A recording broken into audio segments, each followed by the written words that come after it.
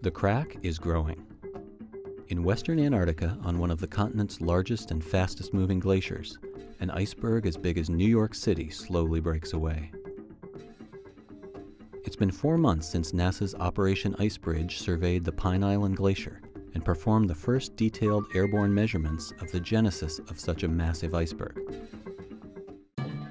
By draping aerial photography over laser altimetry data, Icebridge team members have created this 3D virtual fly-through of the crack in the ice.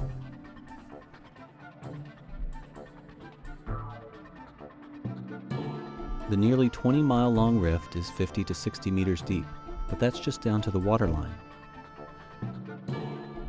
Since this is a floating ice shelf, there's approximately eight times as much ice under the water.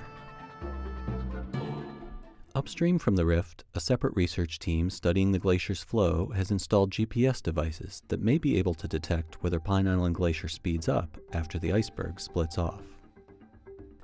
In the meantime, NASA satellites have been watching as the rift spreads a few more meters each day.